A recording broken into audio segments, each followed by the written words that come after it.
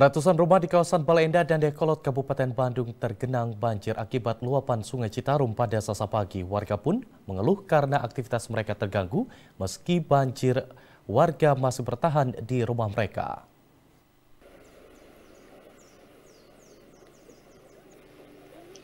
Warga di kampung Andir, Balenda, Kabupaten Bandung terpaksa beraktivitas dengan menerobos genangan air akibat luapan sungai Citarum untuk bisa keluar masuk perkampungan.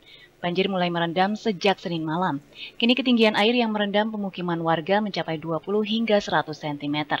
Menurut seorang warga, Dabo, akibat banjir aktivitas sehari-harinya terganggu. Banjir di kawasan ini kerap terjadi saat musim hujan tiba. Ini ngeganggu kan aktivitas susah juga susah. Ini udah berapa lama sih kan banjir. Nah, juga ini apa?